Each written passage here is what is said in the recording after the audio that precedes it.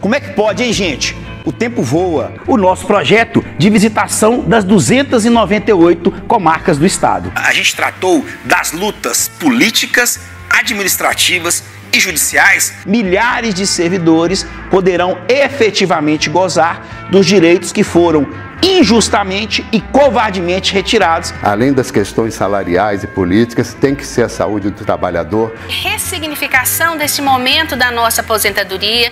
Romeu Zema não pagou a dívida do Estado com a União. Então é isso, gente. Este foi o nosso Fala Diretoria. Uma iniciativa dessa diretoria, juntamente com o setor de comunicação do sindicato.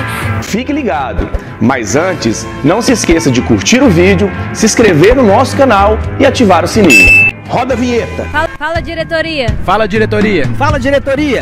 Fala diretoria.